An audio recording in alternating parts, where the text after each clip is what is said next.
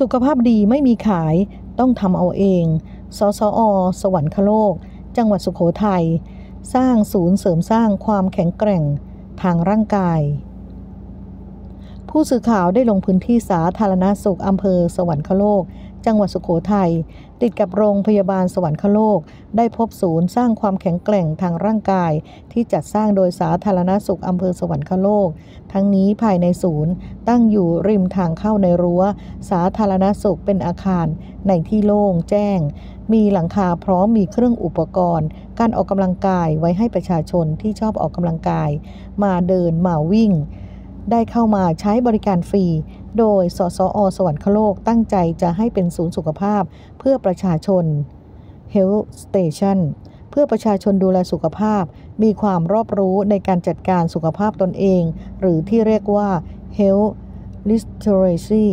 และประชาชนมาใช้บริการในการใช้เครื่องออกกำลังกาย โดยมีป้ายไวนิลประชาสัมพันธ์ ในการใช้เครื่องออกกำลังกาย และอธิบายถึงประโยชน์ของเครื่องออกกำลังกายในแต่ละตัว และนอกจากนั้น ในอนาคตทางสาธารณสุขอำเภอ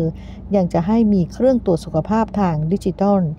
เป็นเครื่องตรวจวัดที่ประจร วัดอัตราการเต้นของหัวใจ วัดความดันโลหิต วัดค่าน้ำตาลในเลือด และวัดค่ากรดยูริก ในเครือเดียวกันเลย หรือที่เรียกว่าเครื่องตรวจสุขภาพ Smart AI ด้วยการได้ข้อมูลที่ทาง สสอ สวรรคโลก หรือนายรัชกร